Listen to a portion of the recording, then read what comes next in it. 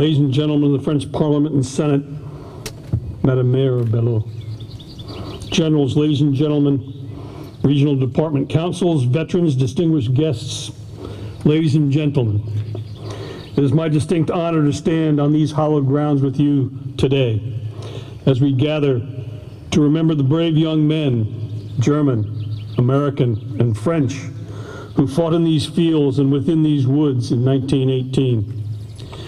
Each year, we gather here to honor their sacrifice of so many. It is our duty to ensure we continue to memorialize their sacrifice. We bring our sons and daughters. We bring our young men and women who serve in uniform today so they may comprehend and appreciate the ultimate sacrifice. To recognize what they gave in the name of freedom and liberty. Here in the tranquil and beautiful French countryside, it is difficult to visualize the fierce storm of combat during that late spring and summer 99 years ago. These pristine fields and peaceful woods gave way to the thunder of artillery, the squall of intense machine gun fire, and the hail of rifle fire. Though cratered earth and splintered trees, these men fought with grenades, bare hands, and their bayonets. Here, a generation of young men gave their full devotion to their nations and to their fellow citizens. As German soldiers pushed towards Paris that spring, United States Marines were called upon for the first time on such a scale. The 4th Marine Brigade, as part of the United States 2nd Division, rushed to the front lines towards the sound of the guns. Marines of the 5th and 6th Marine Regiments and the 6th Marine Machine Gun Battalion hurried eagerly to support our allies and to provide some relief after their own four years of war. The Marines are not the only Americans who fought here valiantly. Courageous United States Army soldiers fought with courage to secure the victory here, a triumph that significantly contributed to the preserving of freedom and relative peace. The legacy of the United States Marine Corps, which forged right here in Belleau Wood.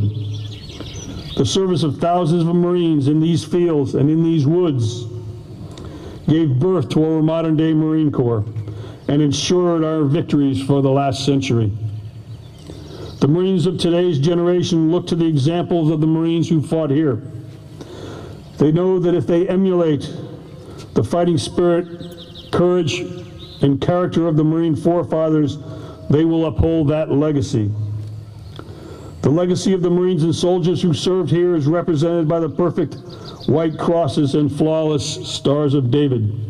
On these 42 and a half acres rest the souls of 2,289 Americans. Upon the walls of the chapel are 1,060 Americans missing in action.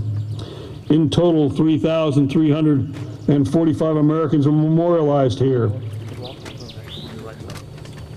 2,870 soldiers, two sailors, and with their Marine brothers, 447.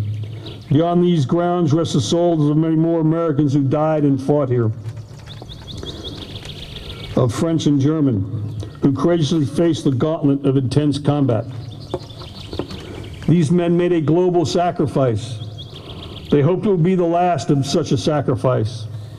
Now, as allies, we can continue to strive for peace and to deter aggression alongside our strong and loyal French and German allies, so that our young men and women of today may not have to make the same sacrifice.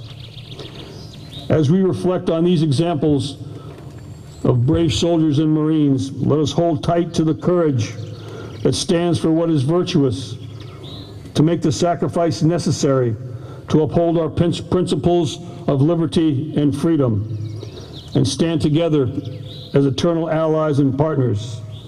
Semper Fidelis, and God bless.